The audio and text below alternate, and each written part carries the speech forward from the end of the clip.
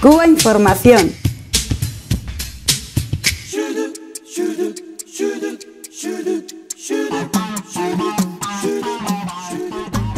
Leemos las esperadas reacciones de la gran prensa internacional al último artículo de opinión escrito por Fidel Castro, por el comandante en jefe de la Revolución cubana, sobre la visita reciente del presidente de Estados Unidos, Barack Obama, a Cuba. Leemos, Fidel Castro ha roto su silencio y ha dejado claro que el acercamiento entre el viejo enemigo estadounidense iniciado por su hermano eh, Raúl con el norteamericano Barack Obama no cuenta con su visto bueno. Dice, Fidel Castro rechaza la mano tendida por el mandatario estadounidense. Eso lo leemos en el país, que es ese buque insignia, yo diría, aparato de propaganda en idioma castellano de la, de la Casa Blanca.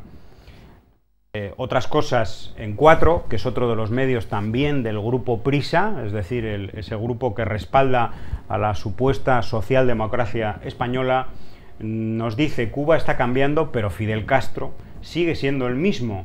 Ninguno de los esfuerzos de Obama, los esfuerzos de Obama, desde luego no los de Cuba, por el proceso eh, de acercamiento no han servido para que cambie de opinión. Bueno, pues se refieren estos y muchos otros medios internacionales más o menos con el mismo mensaje se refieren a, la, reflexión escrita de Fidel Castro eh, acerca del viaje de Obama en el que directamente bueno, pues hace, una, hace una lectura crítica sobre sus palabras. Él dice que bien, Obama eh, más o menos propone a Cuba una especie de olvido del pasado, de una reanudación de, un nuevo ciclo histórico en sus relaciones, pero olvidando lo que ha ocurrido, etcétera. Y Fidel lo que hace es recordarle precisamente el pasado, porque lo, lo, que no se puede es perder la memoria histórica de los miles de muertos, por ejemplo, por el terrorismo de Estado, amparado por la CIA y por la propia Casa Blanca. Esas y otras muchas muchos pasajes de la historia que recuerda a Fidel Castro, que le recuerda a Obama y recuerda también a los medios de comunicación que han servido como una especie de altavoz, de respaldo ideológico, informativo a la propia visita del presidente, del presidente Obama. Bueno, mm, sobre este y otros mensajes, como también el mensaje de Divide y Vencerás, es decir, Raúl Castro estaría por el acercamiento y Fidel Castro sería una especie de, de muro o de obstáculo para ello, vamos a hablar en el programa de esta noche con nuestro amigo Lázaro Ramas y nuestra amiga y compañera Ivana Belén Ruiz. Buenas noches. Buenas noches. Sí, hay muchísimas cosas que podríamos decir en torno a las reacciones que se han generado en torno a, esta carta que, escribía Fidel, ¿no? sobre todo la, manera en la que los medios de, comunicación se han hecho eco de ellas y, como comentabas tú, esas intencionalidades que hay detrás. ¿no? Una de las cosas que, que más destaca es esa, esa idea de de, bueno, esa frase que menciona Fidel, ¿no? de no necesitamos que el imperio nos regale nada, se ha tomado como un gesto de altanería o se ha tomado como, como ese divide y vencerás que comentabas tú entre una postura de Fidel y otra postura de Raúl, ¿no? cosa que en realidad no existe y si nos vamos a la lectura directa de la carta vemos que eso no es así. Pero sí que es muy curioso la manera en la que los medios de, comunicación tratan de, jugar con esa carta y también esa otra idea que hay detrás de presentar a a Fidel como un ser estancado en el tiempo mientras Cuba avanza ¿no? en las negociaciones o, como si hubieran diferentes ritmos. Por una parte el ritmo de, de, una sociedad civil eh, cubana y por otra parte eh, un ritmo de las personas del Estado, etcétera, ¿no? que, que son exactamente una, unas dicotomías que en realidad eh, no existen, pero los medios de comunicación tratan de ahondar en ello y también de alguna manera eh, los discursos que pronunciaba eh, Obama estando en la isla también intentaban ahondar en, en, estos diferentes terrenos. ¿no? Es algo muy curioso que, que creo que, que, resaltan sobre todo el papel que, que los medios de comunicación han han tenido de cara a todo el proceso de negociaciones entre Cuba y Estados Unidos, sobre todo por no ser capaces de, comprender eh, el, el, juego de igualdad en el que, el que le ha planteado Cuba en, las conversaciones con Estados Unidos, ¿no? algo que no estaban acostumbrados a nivel internacional y, les choca ver cómo, cómo, cómo esta, eh, Cuba lleva adelante esa, esa dignidad ¿no? y, tanto en, los discursos como en, la, como en las propias eh, peticiones en, en las negociaciones o incluso en estos pronunciamientos. Eh, por otro lado, y yéndonos ya a la, carta en concreto, me, parecía muy interesante lo que, lo que destacaba Fidel y que creo que es justamente eh, la insignia de ese, de ese papel de, dignidad que juega Cuba, ya no solo por ella misma, sino yo creo que es algo que, que es reflejo de toda, de toda América Latina, ¿no? Como, latinoamericana a mí me, me, da muchísimo orgullo el, el, escuchar esta, estas cosas ¿no? de, dignidad frente al imperio. ¿no? Y es cuando, cuando destaca la, la, aquella frase tan famosa de, de, de, Bonifacio Virne, cuando dice, si desechan menudos pedazos, llega a ser mi bandera algún día, nuestros muertos alzando los brazos la sabrán defender todavía. ¿no?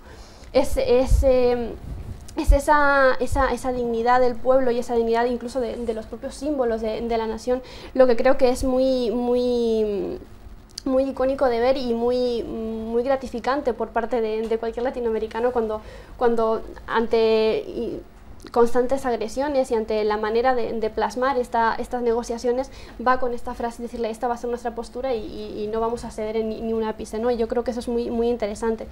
Y en contraposición a esto también la, la, manera en la, que, en la que Obama parece que, que va eh, a, a, esas negociaciones, ¿no? Y dice, vine aquí para dejar atrás los últimos vestigios de la Guerra Fría en, en las Américas, ¿no? Es decir, borrar de un plumazo todo lo que ha pasado, los muertos que comentabas, que comentabas tú y comentábamos en los programas anteriores, pero también la, la manera de, de, ver a Cuba siempre como, ese, mm, como esa espinita ¿no? que, que tiene clavada y que, y que, desde luego pues, le ha demostrado cómo, cuál es su, su papel en el mundo. Eh, y creo que, que, en ese sentido es, es, muy, muy interesante de ver también cómo, cómo interpreta las propias negociaciones con, con Cuba, ¿no? La siguen marcando dentro del terreno de la Guerra Fría sin, sin reconocer que, que, lo que más le, le, molesta no solamente es una contraposición de ideologías, que obviamente no, no, han dejado de existir, por más que no existe ese, enfrentamiento geográfico, las dos ideologías van a estar siempre enfrentadas, eso es, es indiscutible, eh, sino, que, sino también el, el propio hecho de, de, que, bueno, de que Cuba ha ganado, y esto lo, esto lo demuestra, ¿no? Eh, y por otra parte, eh, también el cuando intenta hacer esa, esa igualación entre, bueno, los dos hemos tenido un pasado esclavo y esto nos va a hermanar y etcétera, ¿no? Es decir, está olvidando también o intentando borrar también de un plumazo toda la lucha que ha llevado a cabo eh, Cuba y que no ha hecho Estados Unidos, porque recordemos que en Estados Unidos siguen muriendo gente en la calle por ser negra, ¿no? Y creo que, eso no en vez de convertirlo en, algo, los medios de comunicación, en vez de convertirlo en algo eh, que posiciona a Cuba como el ejemplo, lo sigue posicionando como si fuera, bueno, algo que pasa desapercibido, ¿no? Y, creo que es una, es una de las cosas más, más interesantes que había que, destacar. bueno, yo creo que Lázaro ha hecho una lectura intensa y extensa de toda la prensa, por lo menos de la prensa española en estos últimos días y sobre todo acerca de lo que han dicho del, del, del texto de Fidel y de la visita de Obama, ¿no? Sí, muy buenas noches a todas las amigas y amigos que están en sintonía con nosotros y nuestra gratitud siempre por estar ahí.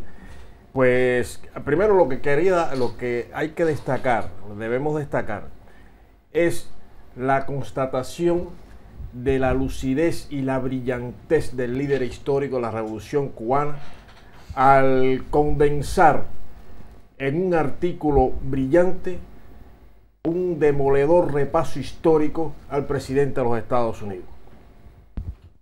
Fidel eh, dice la, la, prensa burguesa que Cuba va cambiando, pero Fidel no. Pero hay que decir también que Estados Unidos no cambia. O sea, Estados Unidos es el mismo, es el mismo imperialismo con sus métodos, con sus argucias, con sus engaños y con la pretensión histórica de apropiarse de Cuba, de dirigir los, los destinos de Cuba.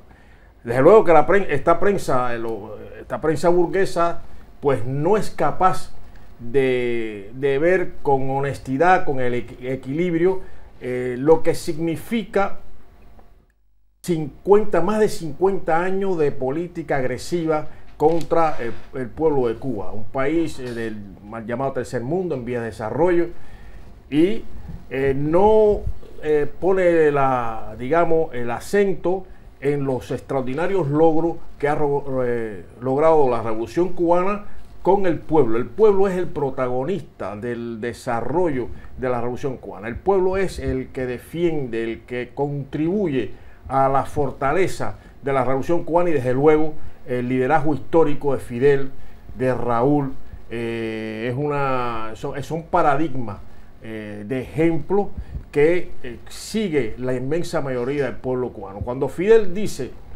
que, y, habla con toda razón, porque es, es, historia, historia viva, no podemos, el pueblo cubano no podrá jamás olvidar la historia. No se puede olvidar la historia por cuanto no podemos permitir que venga un señor como Barack Obama a pretender que el pueblo de Cuba borre una historia gloriosa, llena de hechos épicos, heroicos, en defensa de la soberanía, la dignidad y la independencia y la libertad de la nación y el pueblo cubano. Entonces, en lo que vemos es como tergiversa, esta prensa pues tergiversa, minimiza eh, este excelente, brillante eh, artículo de, del compañero Fidel y sigue con, eh, apoyando lacayunamente las tesis del representante del imperio para con Cuba. Hay una cosa curiosa que leemos que, bueno, Obama destaca mucho que Obama dijo ante el pueblo, ante la audiencia, el pueblo cubano y ante el mismo presidente Raúl Castro, que la democracia es el único sistema que garantiza la prosperidad y que la libertad individual y el libre mercado es el que brinda oportunidades, desarrollo, etc. De verdad que hay que ser cínico. Eh, parece que eh, se confundió, no asesoraron bien al presidente norteamericano porque fue un pueblo a Cuba y, con un pueblo culto, entendido, con un alto nivel también eh, eh, político, ideológico, patriótico. Y decir eso cuando precisamente eh, ellos, ellos defenderán su, modelo, es el, modelo capitalista, neoliberal, depredador, explotador que han impuesto en el mundo y que pretenden seguir fortaleciendo y extendiendo en el mundo. Es, un, es, es la, digamos, la simetría en cuanto a las relaciones políticas y económicas que establecen los poderes imperiales de las potencias eh, occidentales hacia el resto del mundo. Entonces, ¿qué vemos? Que Obama suelta eso y parece mentira que no se da cuenta que precisamente se hizo una revolución triunfante para luchar contra eso, contra ese modelo, un modelo que crea desigualdad, que, que, que crea, dice, la prosperidad y las oportunidades y los parados, los millones de parados. Lo mismo en la sociedad norteamericana, que por ejemplo aquí en el Estado español, los excluidos, los olvidados, los humillados. Aparte de eso, la situación de, caso de Cuba, como muchos países de América Latina y el Caribe, las desigualdades sociales, el racismo rampante, el, el narcotráfico, la criminalidad, o sea, todo lo que no queremos y por lo cual tantas generaciones de cubanos y cubanas lucharon para borrar de la faz de la tierra cubana semejante modelo. Eh, leíamos recientemente de que la situación de, desnutrición infantil, de hambruna incluso en, las comunidades guayú de Colombia continuaba, es decir, ese país que ha seguido el modelo y que tiene ingentes eh, cantidades de dinero en inversiones en capital norteamericano, pero que sigue con los problemas que había en Cuba antes del, del 59. Curiosamente, esta prensa internacional se dedica a seleccionar aquellas opiniones que le interesan, ¿no? porque realmente no hay ni una sola en todo en todo este estos días de la visita de Obama. Yo es que no he leído yo diría que ni una ni una sola opinión ni un editorial nada. o del movimiento de solidaridad con Cuba ni siquiera de, de, alguien del pueblo cubano o de las instituciones sino del movimiento de solidaridad. No existimos. Solo existen los supuestos expertos internacionales que todos están en contra del, gobierno cubano y todos apoyan a Obama. El politólogo de origen cubano Arturo López Levy decía el, el expresidente cubano Fidel está jugando un rol de patriarca de la izquierda radical, según la distribución asumida tras su retiro definitivo. La normalización va a, ser, va a seguir adelante, pero muy despacio en vista de la resistencia de Fidel, decía el miembro del think tank Diálogo Interamericano Michael Shifter o James Williams de Change Cuba, que por cierto es una organización que está apostando por la ruptura del bloqueo, pero que también es parte del establishment norteamericano, decía, demuestra que en los dos gobiernos hay intransigentes que miran con recelo los cambios. Bueno, pues esto es la fotografía mediática de un artículo absolutamente brillante, imprescindible para entender eh, el actual momento en las relaciones entre Cuba y Estados Unidos y también para entender la reciente visita, hay que decir que ha sido una victoria del pueblo cubano, visita del presidente Obama a Cuba.